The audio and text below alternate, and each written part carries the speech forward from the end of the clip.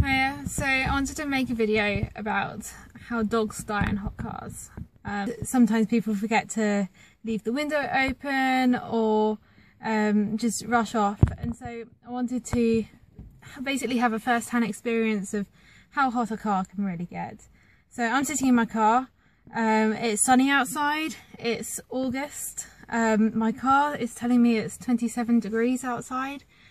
And I've been in my car all of 30 seconds recording this and I'm already swelteringly hot. Um, so I'll give you an update every five or 10 minutes just with how I'm feeling and then after half an hour we'll really see how hot this car gets. It's only been five minutes since I've been in this car and I just I want to get out already. It's it's so hot. It feels like um, like I'm breathing in just moisture. It's really, really humid actually. I didn't quite appreciate how humid it was going to be. I thought it was just going to be really hot. But every breath, it doesn't feel like it's really air. It just feels like I'm almost like I'm in a steam room, um, like it's full of moisture. And so, um, yeah, it's it's actually a really weird experience. Um, so I'm not too sure how this is going to feel after half an hour. I think it's going to be a long half an hour. It's now been 12 minutes. Um, it's not getting easier whatsoever. It's getting much, much harder. Everything is really, really sticky. Um, oh, I just feel so clammy and just, I would do anything for an ice cube right now. Like anything for an ice cube.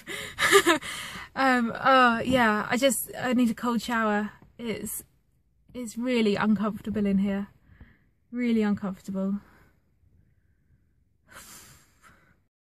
We're at 21 minutes now. Um, it is absolutely unbearable in this car. I feel I'm starting to feel really quite dehydrated. Um, I know I haven't even been in here long. It's been 21 minutes, but I feel I feel really thirsty, and my heart I can actually feel it pumping um, without even touching it. I can feel it in my chest. So um, yeah, it's it's really really hot. Um, I can't imagine what this would be like for a dog. Um, it must be absolutely awful. Dogs can't sweat anywhere near as well as people can. Um, plus they're covered in fur. Um, so the way that they cool themselves down is by panting.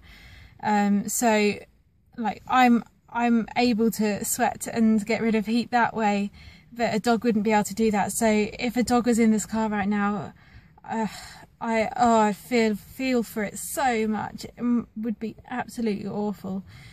Um, oh, I'm looking forward to the next well finishing in nine minutes and being able to go outside. I just want fresh air now. So um, 30 minutes is finally up and it is it has been one of the most uncomfortable 30 minutes of my life.